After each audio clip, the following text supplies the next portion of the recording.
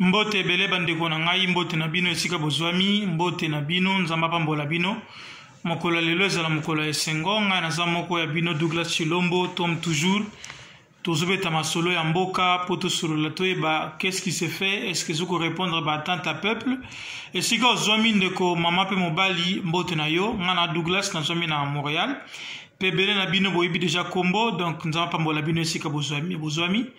lelo tozopesaka bainformation ngo kaka ndenge ezalaka na congo olali olamuki boye oyo ofongoli ozoka basuite continue ya vie ya bato ezocontinue kaka toujours mpe kaka nde na lomesana nde tomesana na biso totanga mwa de kombo to ya bato trois kombo ya bato ekosala mwa bien mm. Sujet liboso Alexis Tambwe Mwamba Alexis apparemment immunité na ye balongoli balongoli immunité Alexis Tambwe donc je pense que ba poursuite na ye ko continuer par rapport ya ba méandre na ba biloko oyo peuple ezo ko reprocher ye deuxième sujet ezali sujet tozobeta bacarte de crédit oyo emonami na miso ya ba ya ba quelques dirigeants kala ba ministre kala apparemment bazalaka na ba carte de crédit na bango ezalaki déjà ya kozala ah, donc ya attaché à la source bazozo soki 50 000 dollars par mois par motu hmm. hmm, wana eza congo et puis euh, tokobeta lisusu apparemment euh,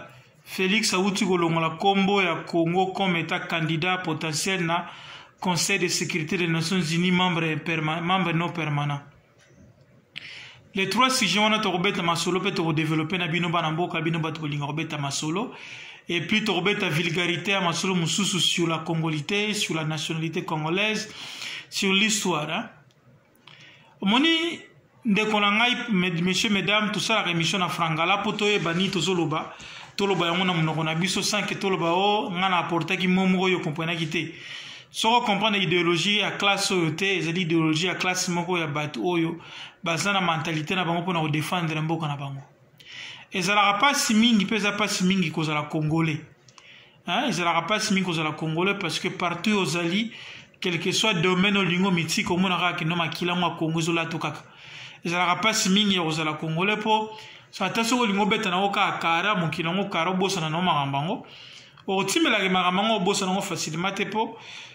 donc elati yo mpena ya monene na nzoto na elongi na makambo nyonso donc oza congolais donc yango tobundaka mpo na mboka na biso congo alors sentiment nini ngai naza yango na minute oyo sentiment ngai naza yango na minute oyo eza liboso ya koloba ke depuis euh, modeste bahati akomi président ya chambre haute tomoni quand même ba mwa force moko ya mosala ezosalama ba soi-disant sénateur ntango lobi ba soi-disant parce que biso nyonso tozali koaccuse ke baélection esalama na 2018 ezalaki mécanise ezalaki bato baponaki bilongi ya bato eyaki banomination ya badepute les députés n'ont pas été élus mais ils ont été nommés selon la classe politique ya congo wana eza masolo tobetaka ekowangana yango te mpo nakoma na kana yo te mpo nabeta masolo mosusu nga naza ajeje to ajani ya moto moko te donc nga naza dougla chilombo je pense que natiaka baopinion na ngai comme il faut comme il se doit soki mpo olingi yo tokota na masolo wana to noswana nga ntongo midi mpo koya nana ntango na te nana makasi ya koswana na yo te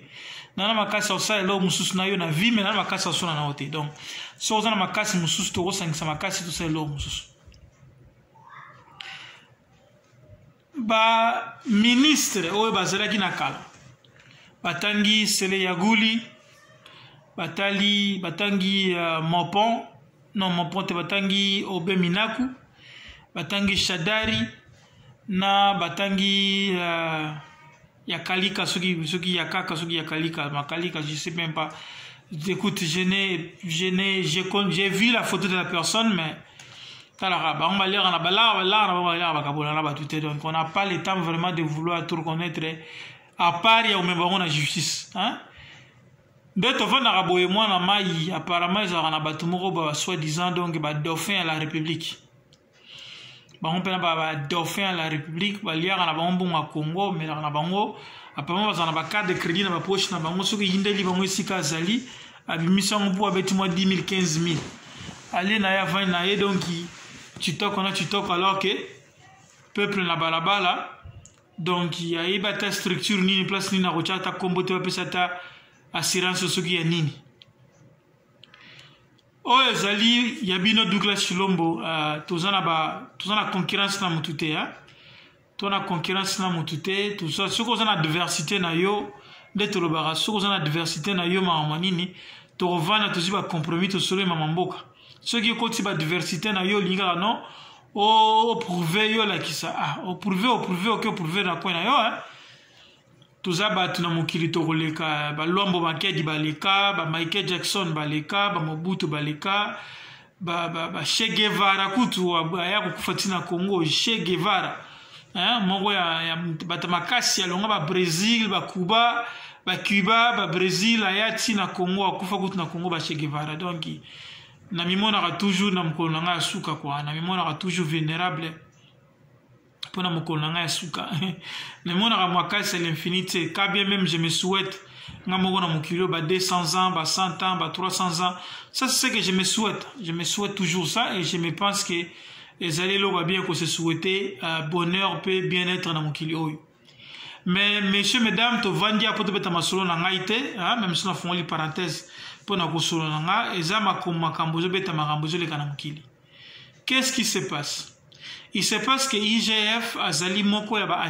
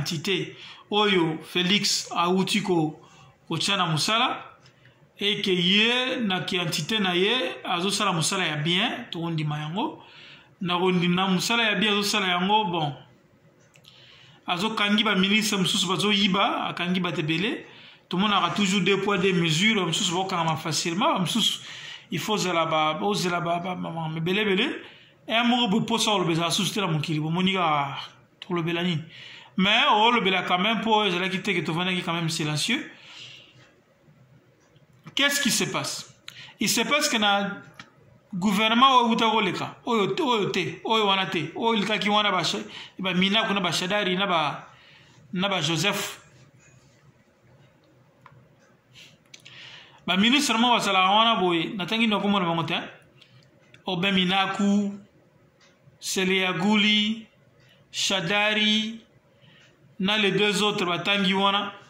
bazalaki na bacarte de crédit na bango oyo bango bazwaka mbongo directement na trésor public elekaka kutu na traçabilité ya bapapier te elekaka kutu na traçabilité oyo okotrace te avandi na ye kaka boye na bara amela boki na ye bu abimisi karte aolia mbongo ya la république kaka boye alors bawuti kodenonse bango israel mutombo adenonse bango igf adenonse bango biso toza likambo baloba te tokosenga kaka na justice esika azali akomema bango na nzela na ye bamonamama na bango ndenge azalaka donc tout ce que nous pouvons euh, souhaite peine capitale na congo koma nango 20 ans de prison hein? donc peine capitale ezalaka susu teke oyo babomi mutu basali bokoma nango 20 ans de prison ngai nateyaka mutu teke na biye bokende bobo non mais nalobaka ke pour le salut du peuple un doit périr a kosala nde bosala bosala nde bosala bango baza baministre batout puissant ministre ya congo biso susu toza batout biso oza biso basimple peuple oyo tolobelaka molobeli ya peuple oyo azanga molobeli ya peuple oyo azangi mbati azangi chaussure azangi koto molobeli ya peuple tokontinue kaka koloba deuxième sujet ezali oyo tozobeta makambo ya uh, moto na biso oyo tobengaka alexis tambwe mwamba bauti kolongola ye immunité mpo asala face na justice est ce que oui tokosepela justice emema ye ti na suka ma azalaka ye moko te azalaka ye moko te aza na ekiri na ye mobimba oyo ya bato bandolanda ye comme ça bayeba kopesa matondi mpe baexplication na bango na, la, na republika la republika mpo la republika ezali ya, ya, ya duka la chinini te biso tolobaka na sunu bon yeah. bude na yo eh? bude soki obude donc dayere te foso soki obude obude donc eza nango makambo ya mokili oyo akobude abude babi oza na mato ya koyoka yoki oza na makasi kosala sali oza na mpe na monoko aloba aloba donc epekisami na mokili moto aloba te mpo moto moko asombami na mbongo ya moto azali te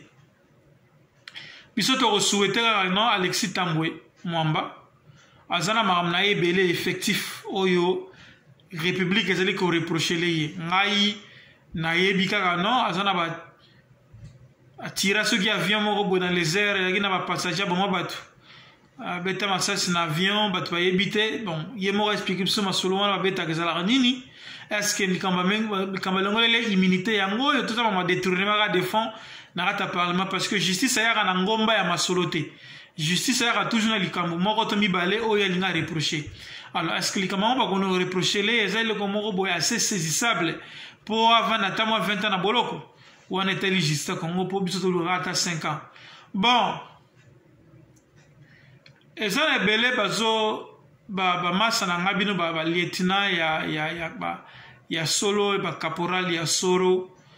botuni bo estce toza na likambo na république question na kotuna kaka estce biso toza na likambo na gouvernement actuel ke biso na bango bif chicane ke makofi epela non non tobundisaki kabila pana 18 ans hein? totikelaki ye ntango alala pongi te hein? meme ntango ayaki na badosie na ye bango nde bakenda kosala bakicollègue na bango bakenda kosala bacoalition na bango ntango bango basalaka bacoalition na ba fcc biso tosalaka coalition na fcc te biso tozo combattre fcc oui nako explike yo ndenge ozali koaide fcc ozali koaide bato mosusu ozali koaide bato nyonso mais ngai namona yango eh? namona yango boye na vie eh? namona yango boye na vie ngai natikali koaide fcc te natikala jamais koaide fcc na cadre ya koede fcc te mais quand fcc abanda kobeta masolo na ye oyo tomonaki ke eza na niveau ya kosoutenir tobandaki koede to soutenir ntango fcc azobeta masolo na eza na sensi te totelemi eza na sensi te comme par exemple ntango fcc aye koloba ke balinga euh, glissement mpo na 2 ans balekisa moto na bango 2 ans bakosala baélection na 2 ans esengaki bango soki 24 mois mpo basesa baélection bon bato mosusu 24 mois ezalaki inadmissible batika kondima 24 mois wana te bato mosusu bandima 24 mois wana naone kondima biso tondimaka 18 mois hmm? ngai nandimaka 18 mois parce que nayebi ke naye naza motu naza motu ya la république nayebi qu'est ce qui se passe dans la république toyebi bango elekaka toyebi bino bango toyebi bilongi na bango toyebi bango elekaka donc ntango ngai nayaki kondima 18 mois mpona topesa élection bokoboya te élection esalama na mboka na bino lelo bokomi na, na, na, na mokonzi mosusu na mokili ce n'est pas que ntango tondimaka biloko mosusu baparametre mosusu eke tokomi complice na yango non l'homme est appelé à évoluer hein? l'homme est appelé à évoluer uh, nayebi ke ebele na kinshasa tolingi kosala kifanatisme hein? même ngai moko personnellement ntango eza na bilo mosusu na koloba na koloba yango mpo je fais pas partie de l'heure na koloba yango na sincèrement na koloba yango na, na, na, na, na, na ouverture nyonso je ne fais pas partie de l'heure mais ntango ngonga esengaki tokoma toyede tozalaki wana toyedaki biloko wana nyonso tozolanda na mokili ya na ngai tokotika yango en vain tokotika yango yango ngai alobaka vomi kuna luka cope na ngai na ya mwa matama na ya mwa sante na ngai nakipe bashema bana na ngai na mwasi na ngai na pale tovanda na biso kekolandela makambo na bino na ere nyonso mpo ekoma kaka oyo ana parti pri te ngai ntongo na soutenaki bato wana Même na de loin ou de près, c'était au nom de la patrie, au nom de la souveraineté, sous le processus démocratique oyo ekoagendre biso na alternance ya leadership na mboka na biso. C'était le combat. Eza lokola eza lokola na opesa exemple moko. ye moto olingaka fayulu napesa exemple moko nabetaka nkombo na ye ntango ye azoya na baélection na 2018-2019 alobi na bato bakende kovote te bakende kovote te mpo fiche électoriel ezali corrompu eza na plus de 20 millions de personnes handicapé baza liste bato wana bakopese mpo na kotya shada ripoi biso baoyo tolingaki élection parce que toyebaki ke masulani eza ya lokuta tokendaki na nsima ya cash parce que bango baki avec ou sans machine à voter tokozala na bango nde tolandaki bango bino boyebi tolandaki bango mpo avec ou sans machine à voter tokende baélection wana tosengaki bino bozalaki botya candidature nazaki bino bato ebele ke toza na mwa retard moko boye parce que biso tozwi temps ya kosala mamwana te topesa la chance na la meilleure personne totyaki cash poids soki ezalaki idps soki ezalaki unc soki ezalaki na bapapa trifon na bato ebelebele bon nous on a fait que supporter parce que na moment wana toyaki na adversaire de taille oyo tobengaki kalbila mpo na tolongola ye na pouvoir bon soki ezalaki important te bokenda kosala candidat commun de, de, de l'opposition mpona nini les gens ont arrivé avec na candidat commun de l'opposition mpo na kopesa idée que on a un problème on a un challenger hein? tosalaki yango na minute oyo naza na droit ya kosupporte cash to ya kosupporte cash te hmm? cash ntango eye cash ntango eye na explike bino ke awa cash aa na violation ya constitution olie atala baprereki aluka bainformateur asala formation ya gouvernement par rapport ya banini ya, ya, ya, ya, ya, ya, nini ya constitution te bango bakendaki kosala konini coopération na bango na batante na bango na banini na badecret na bango kuna basalaki wana ekomaki à chaque fois baaccord na bango accord na bango likolo ya constitution kaka na kati ya kosoutenir cash totelemelaki bacoalition wana totelemelaki coalition parce que na kati ya clarté ya kati ya biso la republika ezali ke mokonzi fo azala moko ye nde akolakisa nzela ye nde tokopesa mayele akende liboso toye kotya cash poids bino boyaki na formule faci vite boye na bafaci vite vite faci vite wa nini boye soki ndenge nini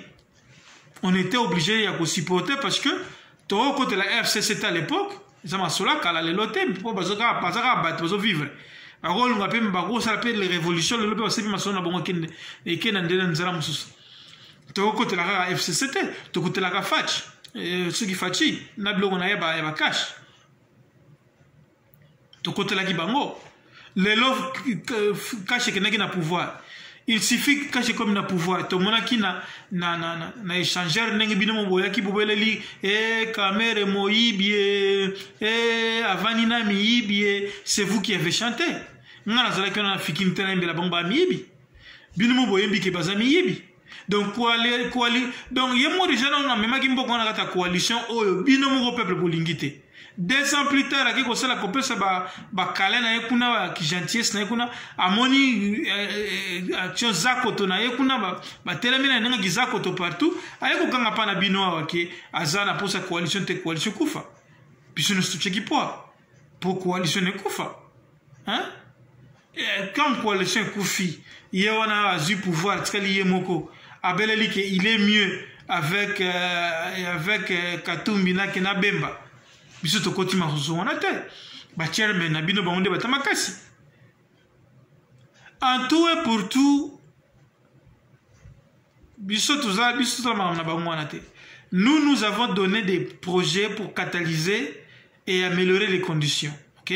biso toyaki koluka baguerre wana te soki ye akolinga tokopere tokokopere soki aboyi tokopere aza libre yo na bisibi na yo na obai na bino eh? eza makambo elongi te eya na kati mosolo te eza na makambo ya mbongo te eza makambo ayebi kosala compétence te eza volonté ya nzambe eza na nazala faible nazala fort nazala archifort nazala maître de soki de nini eza volonté ya nzambe parce que lelo napesi bino exemple tokoloba teke na mokili lelo lelo toloba te ke ngai na te bomonaki ngai ntango katumbi yaki gouverneur je vous disais que c'était un bon monsieur lelo akomi na boyembisio koma président publique nde suis la première personne oyo navandi na bi te nakolinga te étranger adirige ngai je le fais au nom de quoi je le fais au nom de, de mes croyances et mes convictions so balingi to travailler ensemble tokotravaille na biso ensemble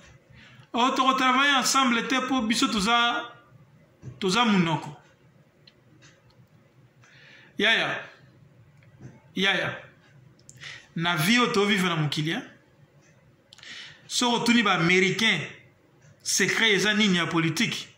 alobaka on ne trahit jamais ses alliés secret ya politike ya politike ezali on ne trahit jamais hein, ses alliés allié na yo oyebi ke oza baallié na biso bokotrahir bango te ngai na na politike na ngai na na façon na ngai ya komobilize peuple na ngai na na façon na ngai ya koloba mpo na peuple na ngai soki baprojet biso tokotisaki esimbi bamaterialise yango tokosepela biso nyonso mais soki bamaterialise yango te bavandi nazoloba kaka na maloba na ngai awa lelo awa lelo awa loi ya congolite totie proposition ya losi la congolite banani babandi kolenga biso tolengi si bango nde oyo baza na babanki na mabongo ebele na babanki bango nde babandi kolenga donc ye boya koluka bajet na baamer place eza te obeta masolo tobeta masolo ya ndenge ya propre ngai je suis conscient je suis conscient na eloko tozoluka eloko ngai nazolukela mboka na ngai soki tozwi yango na ye te bon lepe ya kosala aye mpe na mayele na ye mpe na bato na ye ba tokei tokei uh, ngai nalobaka toujours c'est vrai ke napesaka mayele na ngai mingi na construction ya mboka me nalobaka mpe lisusu ngai moko ke construction ya mboka wana natyela mayele mingi nayebi ke eza na yango en 20 hein? eza en 20 pourquoi parce que génération ekoleka babiloko ozomona lelo lobi ekozala archaïque civilisation ozomona lelo lobi ekoma nango mpe boye ekombi grande puissance okozala mpe okozala wana te lumumba lelo aza te ça fait 60 ans azalaka awa te mpo ayesa biso makambo nini ye abulaki esa kenda mozali oka desire azalaka te mpo explike biso baideologie aza nango epaki ngai mpe nakozalaka wana te mpo na bino to bino bokozala mpe kaka wana libela te mpo na nga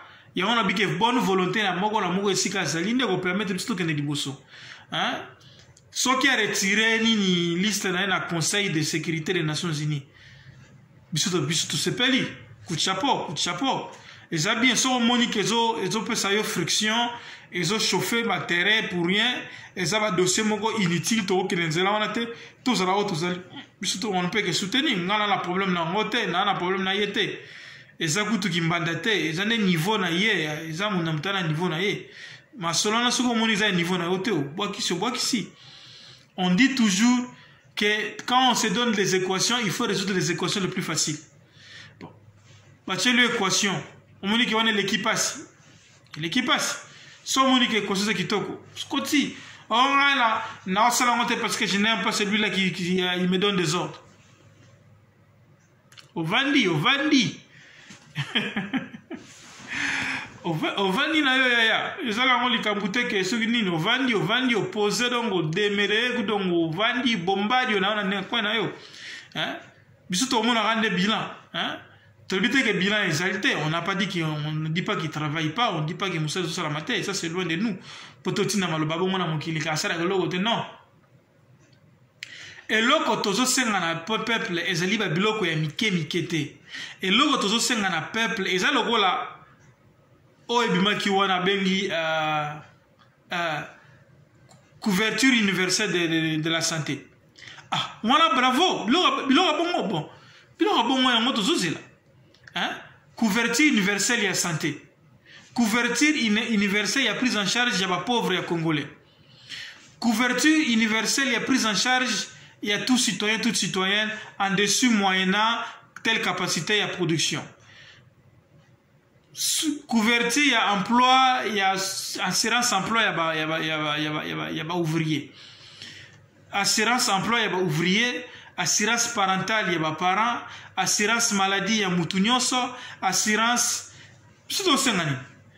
tosenga assurance parentale mpo na bato nyonso soki systeme ekokota assurance parentale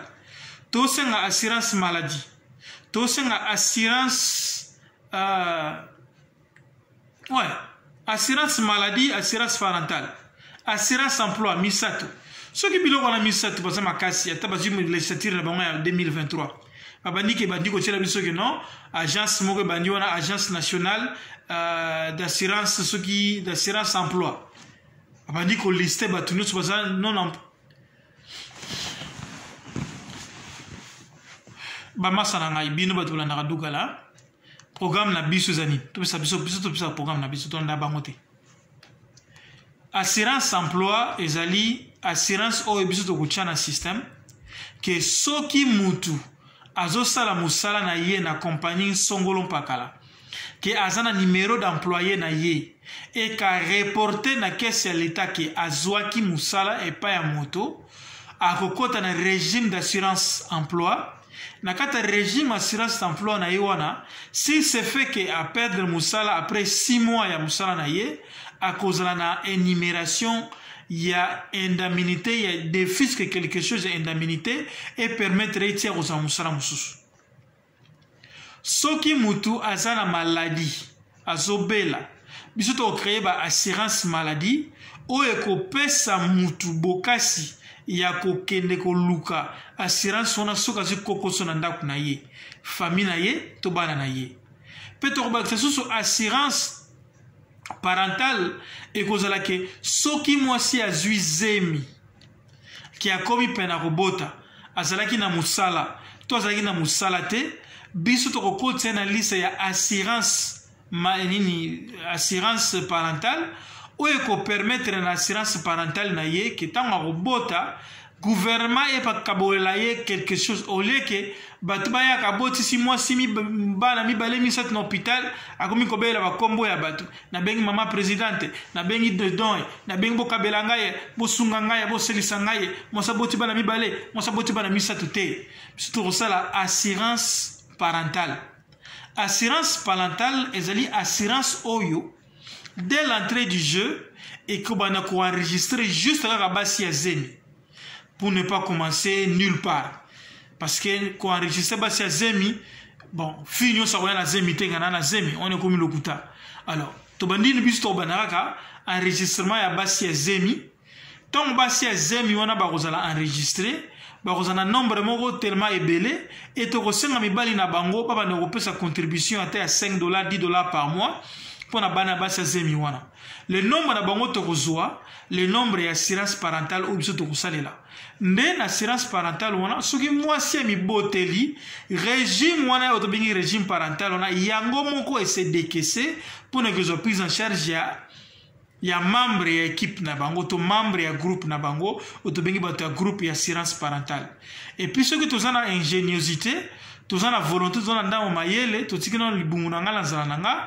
tomona ke un peu plus, plus tard wana tokokotisa mayele ke république mobimba ekoti na kati ya mayele mpo na kokende koenregistre bato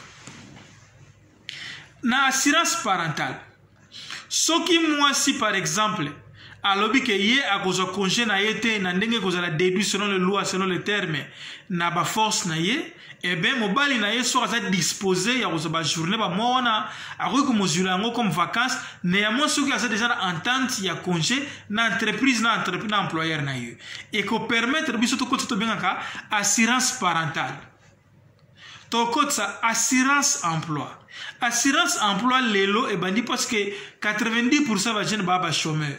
mosala basali kaka otobi oyo ya makasi bazali eza ya kani makasi ese yokangaka bajene miyibi otinda bongo na bakende olia mapa na basardine na bazinini basalaka bilanga c'est un bon coup de chapeau eza bien c'est une très bonne idée mais tokopréféré ke ezala mpena assurance emploi oyo ezali koidentifie chaque jeune na regroupement na ye na balabala na bango na nkombo na bango bazwi bajeton to bamacaron oyo ezali kopermettre bango bazala bajeune to bazala na makambo na bango ya ndenge kokende ekopermettre bango ke après un certain temps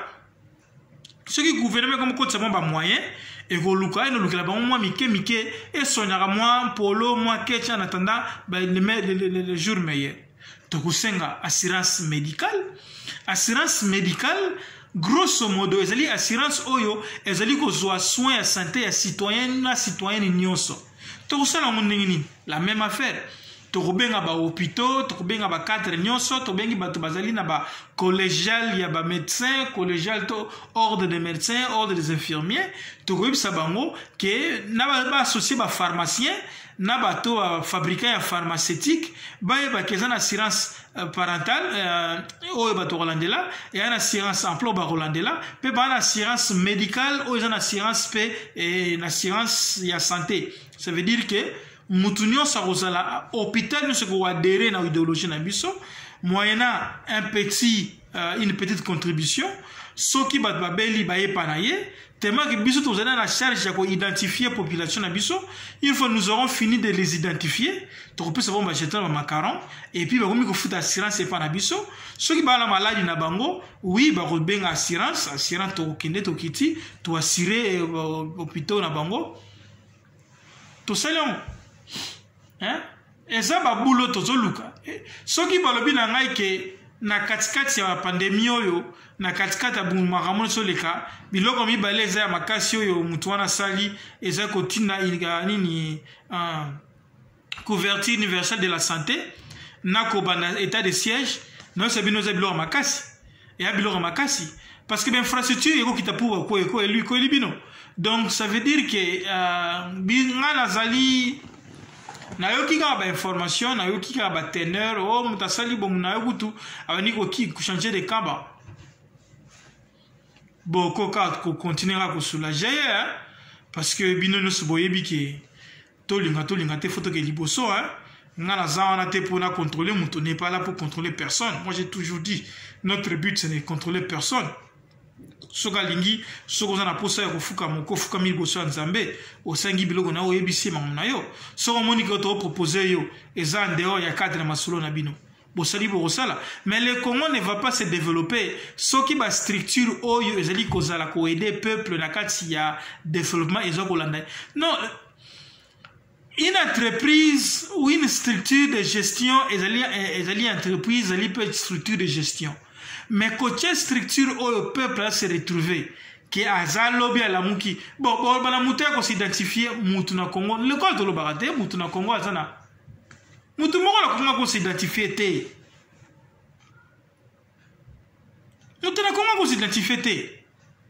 amoi ka ayela yo nini ayela yo carte d'électeur eza carte d'électeur ezali carte ya vote ezali carte d'identité te hmm? bastructure oyo toza na mposa yango ezali rediminization ya citoyen congolais et puis restructuration ya société ya congo mpo na korestructure société ya congo esengi bamiracle te esengi mutu yaya yokela ngai hein? zwa yo banda koluka babiro wana tocreye biso moko baagence misato na tosali na yo ekozala na secteur privé soki gouvernement na secteur public amela pema bamelaka pema banda kala 60 ans yango tomona mpe eloko te donc bobo mposo echec nyonso ya 60 ans boyolatisa yango beton te oyo bozwi 60 ans bokolatisa yango beton ye alata echec ya 60 te oyo asala befort wana ya mwa mbali topesi ye mbote ngai nazali comme tolobaka biso la république la direction toza na biso na ntina ya kosala baadversité na motu te nous nous sommes claire Nous nous battons pour le bien-être de la population et non pour faire des combats personnels entre individus. Soki balmi omona force na biso, ba omona yango les élections arrivent. Soki otoye te tokoya kaka un jour tokobomona biso. Eza likambo te ke oh, bino non. Euh, nga namoni ke boza de mauvaise foi, nalobi yango clairement. Namoni ke boza de mauvaise foi, nalobi yango clairement. oyo amoni ke eswi ye bon seke nga mpe namoni mpe yango ekomi donc yanga mpe libanga ezongi na nsima nakosepela mingi tovanda tobeta nde masolo sur bastructure oyo ngai na propose na propose trois structure 1 assurance emploi agence pour l'assurance d'emploi ou régime d'assurance d'emploi. Deux, assurance euh, de paternité, régime pour l'assurance de paternité. Trois, assurance oyo tobengi baassurance maladie ezali baassurance oyo ekozwa motu nyonso soki toza capable ya kokotisa les trois structure wana na congo ke lelo leader moko na congo ngai groupe na nga bamasa nyonso bino bato mayele bolandaka dukala ke okotisi trois structure wana na congo oza capable ya kotelema liboso na bango avec une certaine fierté parce que imagine kaka gratuité scolaire kaka nde tie makili bo sikoyo imagine sikoyo ke bamama nyonso minganga nyonso mokima na bana na bango na bahopitaux gratuitement pourquoi parce que eza ofele te mais d'une certaine façon peuple ezwi en charge ya baactivité wana mais tout en étant pas forcé mais ayi participant d'une certaine façon na kati ya allégresse na kati ya masolo nyonso ok lelo nakopesa bachapitre ebele ebele te nazali soulage na makambo ebele vraiment je suis très content nazali très soulage na masolo ebele na ndenge uh, bayi mboka bazobeta mbo bapolitike ya mboka boyebi biso tolandaka na biso masolo mingimingi te oyo ekomeli biso bato ya mokili ekomeli biso bato ya mokili nos condoléances na makambo nyonso ezokileka na mokili me ngai naloba eloko moko kaka na minutes oyo soki nzambe azwi faveur na ngai to ya bino alingi bino aide biso totya trois structure wana na mesa hein? soki nzambe alingi biso donc vraiment soki nzambe alingaka biso toujours tosala effort totya trois structure wana d'ici 2025 tomona trois structure assurance médicale assurance parentale na assurance euh, d'emploi emploi emploi d'assurance emploi nauti koexplike awa je pense pas ke ndeko na ngai ozangi vraiment discernement ya oyoka mongongo na yo eloko peuple ezoluka ntango tobi social ya peuple eza kaka te ke non il faut totya moteke nde bango balingaka o oh, balie 3 jours balie na ntongo balie na pokwa balie soki na midi balie na pokwa non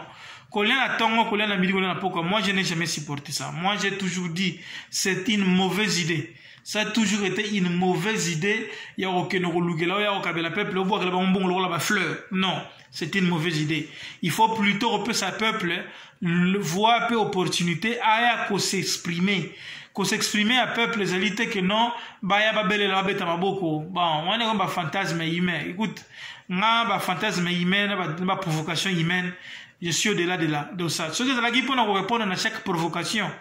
hein, soki ezalaki na nga na tokovanda ba 22 ans te 23 ans mpe boye 20 ans mpe ovandi nango mpe obeti mboka na kara obeti mpe mboka na kara osali vi na yo osali makambo na yo donc ce n'est pas ke nga nasala barepondu na osala ba question réponse na, na, na soki nasepeli na nini na yo te nazopesa oyo ya ngai vision ya ngai vision ezali ya koya tofingana te ya ngai vision ezali c'est vrai soki olingi ofinga nga mpe ya nafingaka wana kuta wana mpe noko ozolingala mpe okimi me nakosepela nzambe alimbisa ngai apesa biso nde makasi ya kosolola ya kokabola nde information na nkombo na bino nyonso baoyo bolingaka douglas chilombo sabone massivement ndeko na ngai namoni osi bosabone bokomi mwa ebele tokofongola basho tokozwa makambo mwa serie uh, na ndenge ya bafilme ya bavideo tosala mwa nsima na minute oyo ya zonga bien hein zwaka mwa esprit tovandi kaka mwa batomi ya efige hein mwa polo na nga tomi nalobela mpe omoni tobeta bakara mingi yo te omoni bango forme bayebi te te hein eza nango likambo nini te Bon, je suis dérangé dans ma, pro ma problème nanga. Comme je dis, j'ai mes problèmes à moi personnel. J'ai des affaires à faire dans ma vie. Donc, on n'est pas toujours là à vouloir regarder ce qui se passe. Ceux qui ont opportunité à sala yango, à sali. Soit linga boya, vandi, vandi. Euh, mais, bon, na toute, euh, toute personne, to pesi ba félicitations na ba ba sala misala bien. Merci pour Nabino. Na na na na sala Nabino la République, ils ont moi force. Na komo Nabino soutike libino mbote. bosepe bozala malamu bocontinue alexis tambwe mwamba ye wana balongoli immunité na ye kala mingi mpe bapoursuivre ye bon baobin minaku bamasa tu wana baza soki na bacarte de crédit igf azoyindisa na bango epuis tokosenga toujours ke kofungola miso na madonna makambo ya, ya mbongo ya leta tovivre towumela tala eza kuna pasteur mo nigérien jete masa moko auto daye kutu na 50 ans pamba auto daye 50 ans d'âge, pasteur, prophète, eh ben, TV auto d'ailleurs. Il n'y a même pas, il n'y a même pas deux journées. Donc, ngai tala yango babiloko ya ndenge wana ebaisa ebaisa ngai mpo na kobude nzambe te ma ebaisa ngai mpo na kotala ndenge ke c'est vrai que eza en vain totya mayele na biso kaka na mama mokili tosangisa manini yaya osali bien ndenge olongoli nini wana na compte ya biloko wana boye biso mpe toleli yango fort ezalaki eloko tongaki totya mpona mpona to maske banini nayebi stratégie bosalana te nakumisa teke nayebi stratégie bosalana nayebi bastratégie bosalana te mais de toute façon tonga na koaccompagne na toko bon de toute façon congo eza ya bacongolais élection 2023 bayaya élection 2023 ayaya tomonana kitoko kitoko